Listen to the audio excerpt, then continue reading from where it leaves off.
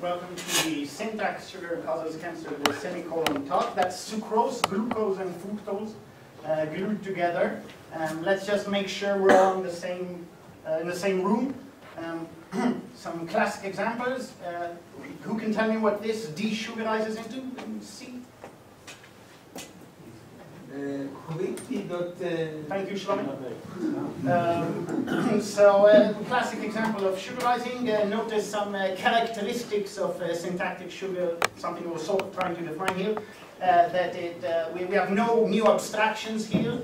we have no more powerful features. nothing, just syntax. in sugar, Shlomi, no, not you. um, this desugarizes into that. It's a nice, really neat syntax for set setters. Uh, in Perl, uh, who can tell me what this uh, desugarizes into? Thank you. Uh, this desugarizes uh, into that. Uh, and in Python, uh, I'm sorry, we don't do that kind of shit here. That's just crazy Perl stuff, and we don't do it. And uh, often in our mailing list comes up a question, uh, should I use Perl or Python uh, for my project? I have a project, a new project, my boss, uh, I need to tell him if I should use uh, Perl or uh, Python, and people come up with all these differences, but it's a probably something in the eyes also.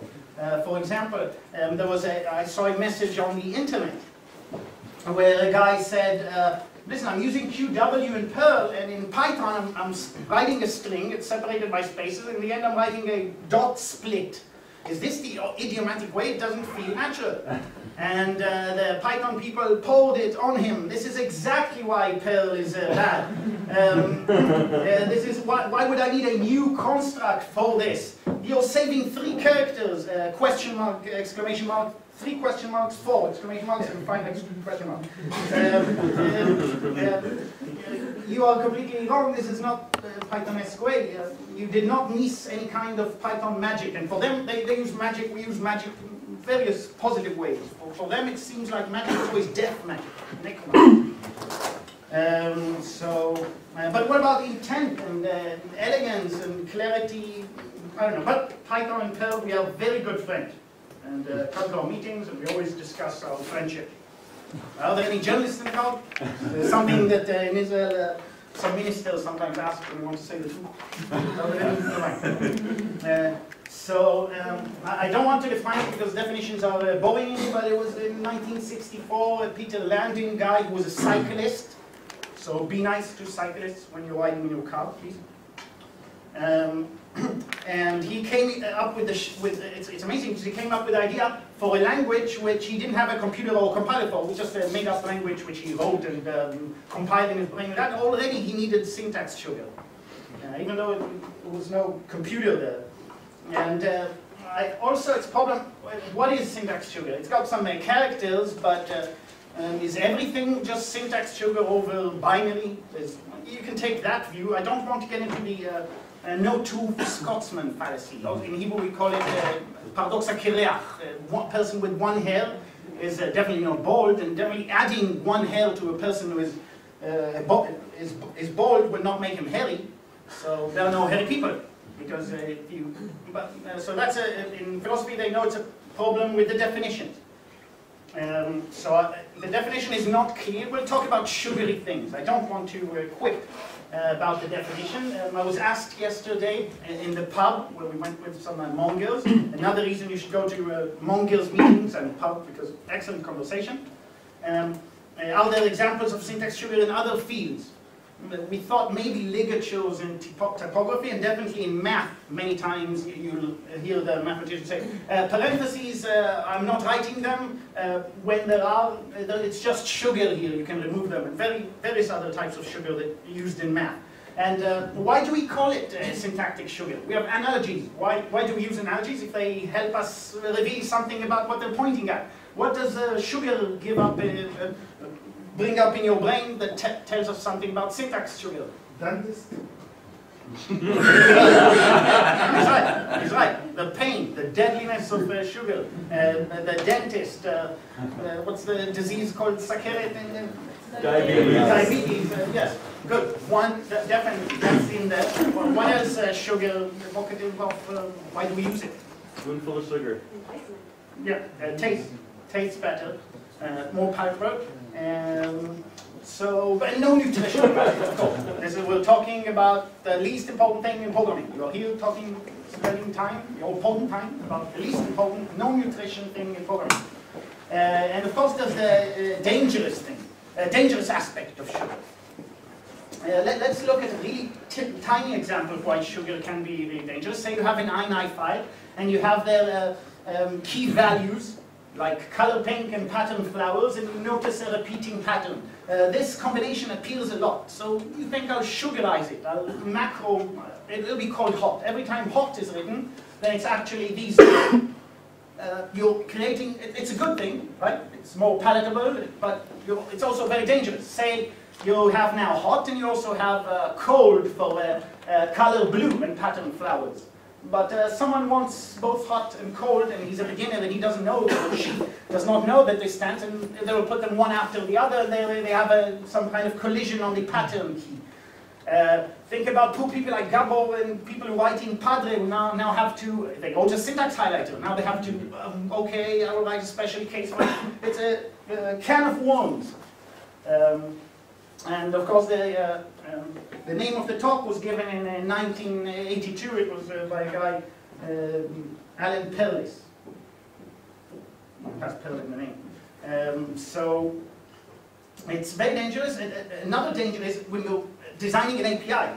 Uh, think about you, the team that's supposed to design the CSS standard.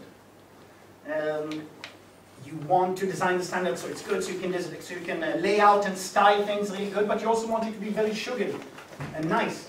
Uh, if you confuse these two problems together, uh, you'll have a horrible standard. So it's uh, really good to think about these as different concerns. Think about the CSS object model, then think about sugar. Sugar is a, is a, is a dangerous thing. It's brain brainkraft. It helps your thinking about um, API design, for example. Um, and uh, so that, that's the syntax side. And what does palatable mean? Uh, it's, uh, it's an engineering thing, and engineering is about, about forces pulling in different directions. Um, does anyone here remember the Perlmonger's talk that Pinkhas Nisanov gave about TRIZ? Two people. Oh, Pinkhas remembers it? Three? Three. Uh, that was a, a, an entire uh, system for uh, which is um, all about conflicts and looking at systems and engineering as a conflict.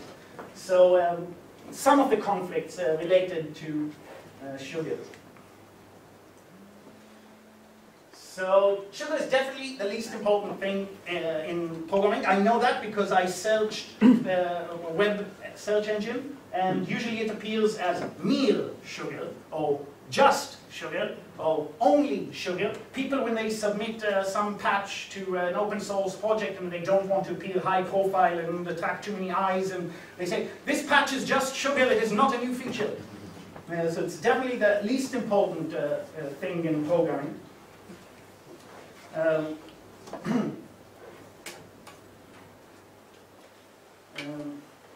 uh, these are some of the quotes you will find on the internet when people are talking about sugar. When uh, my roommate is a C++ uh, programmer, and when I told him about this uh, talk, um, he told me, why, why? Why are you doing this? Program, do something uh, good. Why are you dealing with, uh, with syntax and how things look? has anyone here ever um, felt that from someone uh, or himself, this feeling of, oh, this syntax it's silly, this feeling it's, no, no one can relate to it. I can relate to it very much. I've seen it in others, seeing people uh, running around their tails, trying to sugarize uh, something, um, and um, well, they sugarize here, and then here it's less sugar, so it's crazy. Uh, on the other hand, it's definitely the most important thing in programming. Because uh, imagine uh, one of the, there are several terms related to syntax sugar which are used.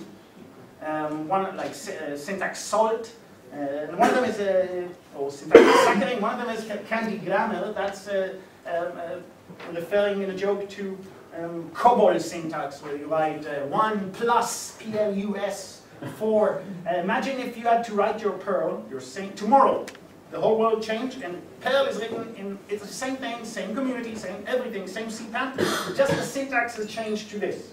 I would commit suicide in the most uh, violent way possible rather than live in such a universe. So it's obviously the most important thing in the world. Uh, search CPAN for the words sugar and sweet.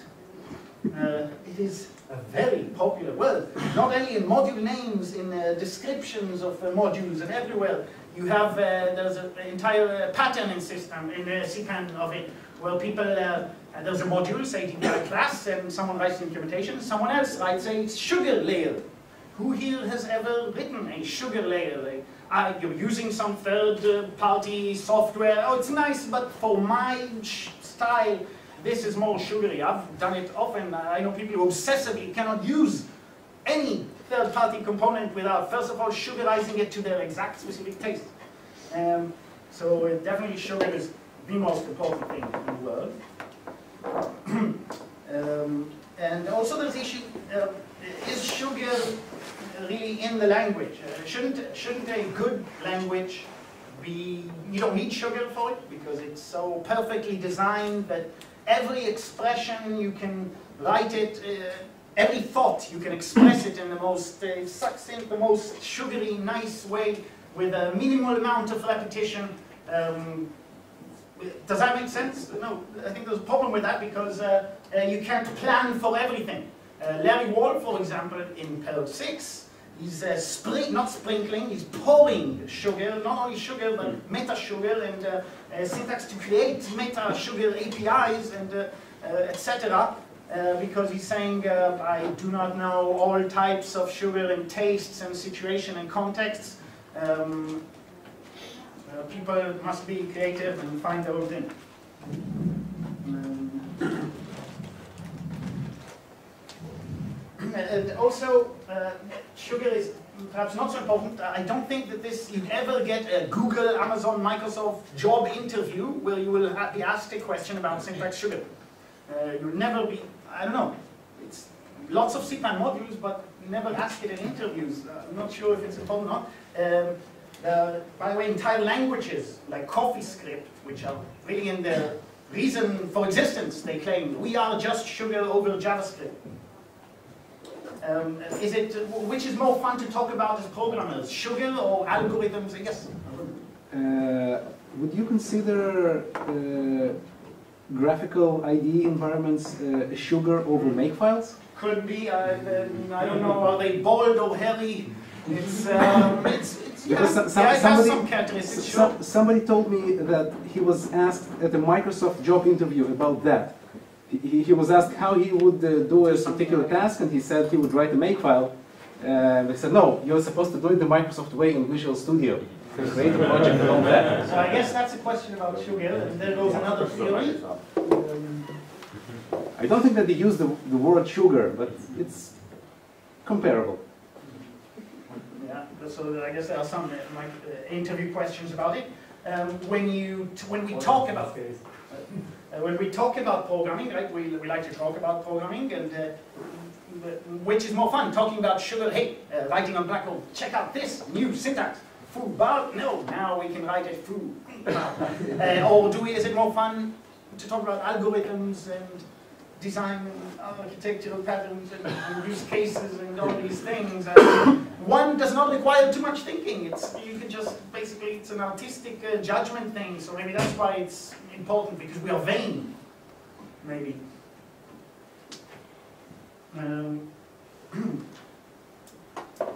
and, and lots of people ask me before the talk, uh, oh, you're giving a, uh, you're talking about syntax sugar. That's an interesting topic. Um, what's the um, latest um, view on that? Is that positive or not? It's like, like this is a pair of shoes. Am I wearing the, the fashionable shoes now or, not? Is it because I'm not sure? Like, uh, um, I, I, hope now we understand. I personally really love sugar.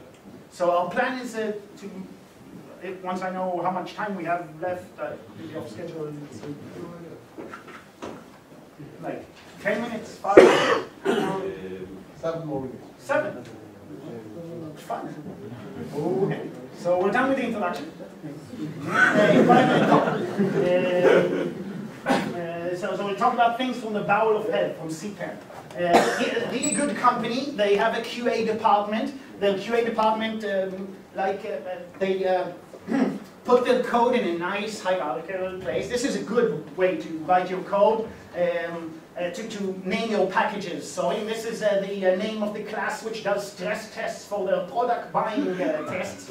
Uh, can anyone see something slightly wrong with this slide? Something smelly? That way, Mr. Long. No, looks fine to me. Looks fine to you. So the Python class is, uh, no, no, Python has a lot of syntax sugar, by the way. I was reading them. really specific things which they call syntax sugar. Uh, so there's an entire group of packages on CPAN just to sugarize that. Because on CPAN uh, you can't have one uh, or never. Um, uh, so uh, for example, uh, this sugarizes into that. Much nicer. And I think that's, anyone want to guess how many different solutions are to this problem on CPAN? Uh, not you, Rafael, because you're in the list, so you probably looked around. Um, anyone want to guess? It's not difficult to guess a number. 20. Less than me, what? 20. 20? Not bad. It was like almost. Like, uh, something like 10. Here are six of the nice ones which I saw. Um, uh, just Uh, who, who, has this problem, by the way? My package names are too long and I write them too many times in my code. It's not a totally common problem, because some people script and may not have it. Uh, for example, noticing that it's not a very common problem, I will not talk about this slide. Next. Uh, uh, so our package names are really short now. Uh, our code, our package names are really short. Uh, this is a problem because say I have a, uh, I'm de demonstrating my lib entry point and I have a script, one script, a demo script, and another demo script, and another demo script, and they all have this heading. Uh, what is the problem here? Uh, subdivision. Does anyone have that problem? Because if you don't have the other problem with long package names, you surely write script and you have this problem. it's impossible for you to, it must be one of these. That's a boilerplate. What? That's a boilerplate. Lots of boilerplate. Um, how many solutions on CPAN? Who can guess? Also, this time 10 to 20. Um, uh, no, actually less than 10 even. Um, you can use, uh, what, what you really like is if all the demos are there, you like it like this. Um, this is the nicest thing, you put this in all the demos and now nice. Think about, oh, I have to write a new demo. I have to copy these six lines or use a skeleton or something. No, but I have to write exactly what I want and my needs and my intents. Uh, this, that, this can be done really easily with this import method on your package. So it's really easy, it's not difficult. And these are some of the modules which will help you in this case. Uh, with just like the um, other syntax modules which I talked about in with varying level of craziness, uh, dangerousness, sweetness, etc. Um, uh, still, as always in CPAN, there's lots of uh, similar things between them. You can see that it's pretty much developed uh, independently. Three minutes, right? So uh, just another neat thing is, uh, who needs to pull local packages? Uh, what a good mechanism is that we heard about Perlbrew in some mechanism, local some, uh, some Perlbrew. What? Local lib. Uh, local lib, the module? Yeah. Module, yeah. Sets up an environment, you can I think, I, did I write it? Oh, no, forgot local lib. Uh, okay. Well, there are some modules to sugarize that. Instead of these two lines, you can write that. This is the slide that my C++ roommate said, why? Why? Desugarize. Who uh, here uh, em empathizes, uh, feels with his why, and feels, maybe, I can, I can relate to him, he's a really cool guy. Little, no? You're just nice to me, maybe? Um, okay, there, there's command line uh, uh, sugar. Why would you need sugar in the command line? Command line we write, uh, I need to take this file, uh, get the second column, sum it, and uh, write it out. Why would I need sugarize now? Oh, Perl is already really good in sugar in the small, which I didn't talk about at all, because that's in the Perl books, like QW and stuff like that. Why would I need now, why would I need moose in command line? Why would anyone need moose in a command line? I'm not going to write a class now and the whole object-oriented system in uh, the command line. We use it a lot. It, it's, it's, it's useful enough so they, it's written moose. Uh, because to experiment, to uh, hack, to prototype. Say, I, I don't know, what is a uh, HTTP header? Unrelated to CGI, just ask the HTTP question, what is a legal HTTP header? It's a pretty easy way to get it. Uh, and here you may want to use a combination of modules. Uh, check out uh, Toolkit, mylib, and with class auto use. This is the most, one of the most dangerous modules on CPAN. You know the uh, Perl keyword use, which imports a module. Uh, with class auto use, you can use class auto use, and that's it. It will find all packages, and it does evil things like uh, installing things in your universal. So all objects have them, and it installs not only things in your universal, it installs autoload method in your universal. Uh, yeah, which is crazy. crazy. Um, just now, really quick, one minute, for uh, tiny uh, sugar in the small. Check this out. You, you have a hash, you have to access it, you need the curly brackets, right? You need the, uh, maybe for, in the, yeah, you need the curly brackets. Uh, with hash inflator, you don't. Who here has had this? I, I have an hash, um, navigating it, oh, it sucks, I need to write all these curly brackets. And uh, this is also nice because it's on the way to an object already. Um, uh, related to the tiny, neat little sugar, um, which is people write uh, uh, in the TK sugar, uh, he has constants for various hash key, for various hash key value combinations. You can see how that dangerous that kind of what is clear? Fill both and expand one or X fill two, which is clearer. Uh, builder sugar, check out Template declare. Uh, Moose has lots of sugar, but the heaviest, craziest thing in syntax sugar currently going on in CPAN um, is uh, the entire syntax feature, devel, declare, changing spell syntax on the fly. Is there a better name for it? Uh, That's what I call it. I tend to call it syntax bending or semantics bending. Bending. Syn- syntax bending. Who here has had this? A here doc, a big string. I want it, I did like that. But I, I want it on one line. I don't want the new lines there. And I don't want it to be aligned like my code. I want it to be left aligned. Uh, QL operator does that. Uh, that's sugary. So not all things can be sugarized. Um, but uh, go forth and uh, sugarize and come to Perl meetings because to the Perl Mongers meetings because we talk about these things a lot. מי שרוצה רן גם יהיה בפאב אחרי זה, אה, במפגש אחרי זה, ובפאב גם. On, Peter. והוא מאוד אוהב אותי. ואני ראיתי טעות איתי, אבל אני לא אגיד. אי קטן מול אי גדול. אה,